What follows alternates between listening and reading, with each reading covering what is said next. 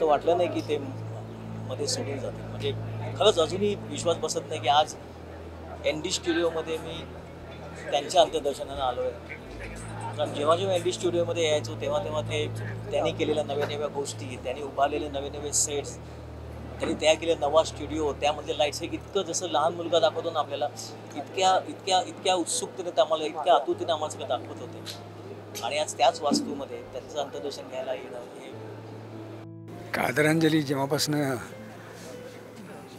त्यांची ओळख झाली त्या ओळख व्हायच्या आधीपासून त्यांच्याविषयी खूप नितांत आदर होताच. पण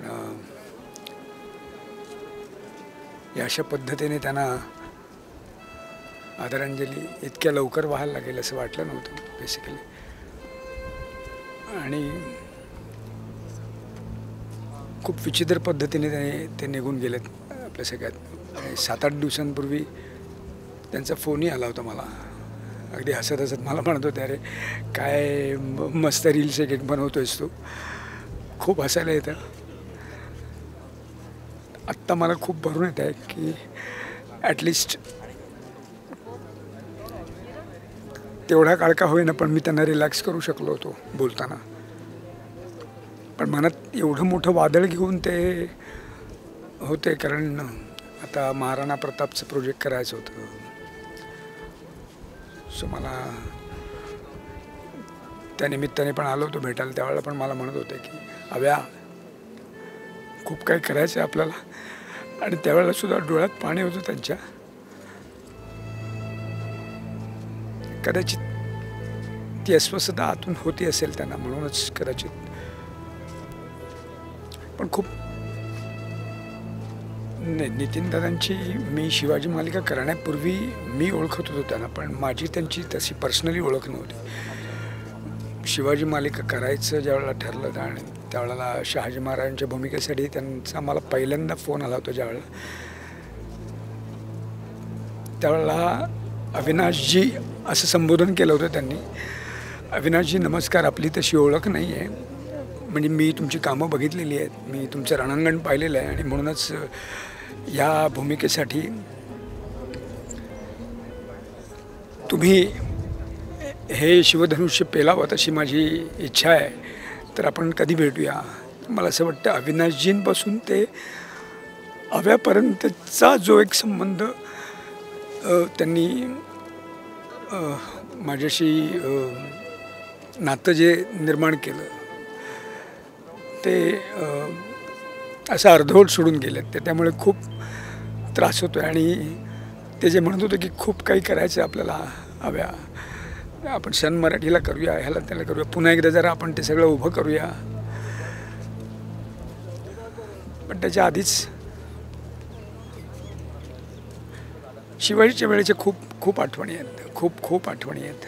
म्हणजे त्यांनी सगळ्यांना सांगून ठेवलं होतं. ज्यावेळेला मला मी शहाजी महाराजांचा पेहराव आणि सगळा गेटअप करून मी फ्लोअरवरती आलो त्यावेळेला सगळ्यांना ताकीद दिली त्यांनी की जेव्हा जेव्हा शहाजी महाराज इथे पाऊल ठेवतील त्या त्यावेळेला सगळ्यांनी उठून मुजरा करायचा. मी म्हटलं होता आता काय आहे? नाही नाही. तू आता ते कॅरेक्टर जगायचं आहे तुला. सो कलेविषयी आणि एकंदरीतच कलावंतांविषयी नितांत प्रेम नितांत आदर असणार अशी व्यक्ती होती ती. खूप आठवणी आहेत.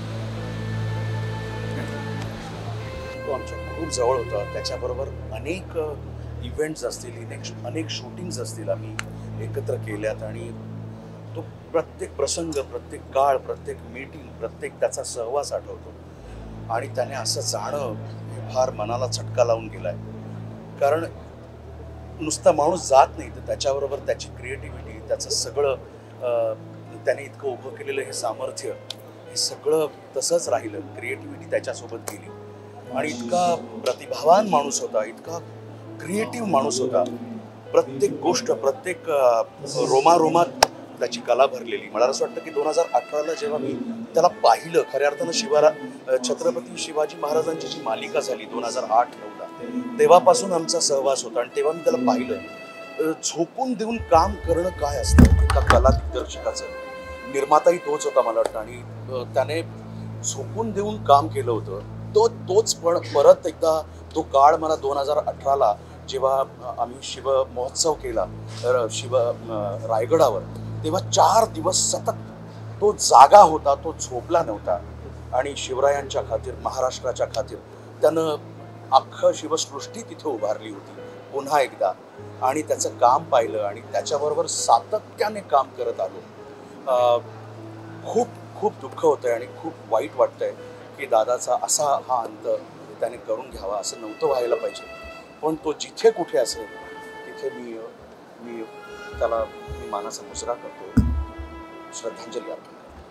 साताऱ्यात ही राजधानी जी सातारा मराठी तिथं जागा सुद्धा त्यांनी निवडली होती.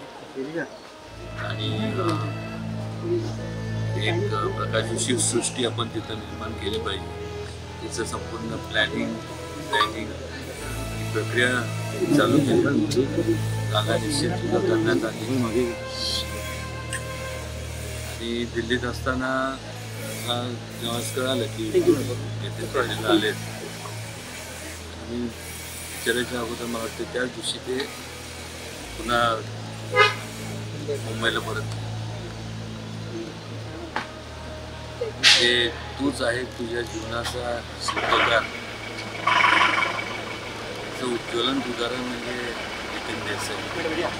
अत्यंत स्वतःच्या कष्टावर स्वतःच्या हिमतीवर. अत्यंत प्रतिकूल अशा परिस्थितीतून एवढं सगळं असं निर्माण करणं सोपी गोष्ट नव्हती. आणि स्वतःचा एक आगळा वेगळा ठसा केवळ संपूर्ण भारतात सुद्धा त्यांच्या स्टुडिओच्या माध्यमातून त्यांनी निर्माण केला. अनेकांना रोजगार उपलब्ध त्यांच्यामुळे झाला. आणि या पलीकडं तरुण जे कलाकार आहेत त्यांना मार्गदर्शक म्हणून त्यांनी काम केलं. एकंदरीत ह्युमन सायकोलॉजीचा जर विचार केला तर जो माणूस एवढ्या कष्टातनं सर्व निर्माण करतो तो एवढा मनाने ज्यावेळेस खचतो त्यावेळेस निश्चितपणे आपल्याला माहिती आहे की प्रत्येकाच्या जीवनात चढ उतार हे येत असतात पण त्यांच्यावरती एवढं मोठं प्रेशर टाकण्यात आलं असावं जेणेकरून पर्याय त्याला म्हणतो ना पर्याय ठेवला गेला नाही. म्हणजे एक प्रकारे तसं पाहायला गेलं तर मानसिकदृष्ट्या त्यांना स्वतःचा जीव घ्यायला प्रवृत्त केले ज्यांच्या ज्या ज्यांच्यामुळे झाले त्यांना शासन झालंच पाहिजे. तर्क वितर्क कोणी जरी काय काढत असलं जनरल आपण कुठल्याही जर साय ह्युमन सायकोलॉजीचा विचार केला तर एवढं जे नितीन ज्या नितीन देसाईंना मी ओळखत आपण सगळे ओळखतो एवढ्या लवकर हार मानणाऱ्यापैकी व्यक्ती नव्हतं. आणि काय बोलणार? म्हणजे पोकळी तर आणि ते त्याचे यंग एज राजे केंद्रामध्ये तुम्ही या सगळ्याच्या चौकशीसाठी स्वतः काही पुढाकार किंवा पाठपुरावा करायला? निश्चितपणे देईल काल देवेंद्रजींनी पण उल्लेख केला आणि त्यांनी मुख्यमंत्री असतील. चौकशी तर होणारच आहे. आणि असं असतं की काळ बदलला. पूर्वी लोक समाजाचा विचार करायचे. जे मला जे पाहतोय अनुभवतोय. आज लोक व्यक्तिकेंद्रित बरेच झाले. आणि मग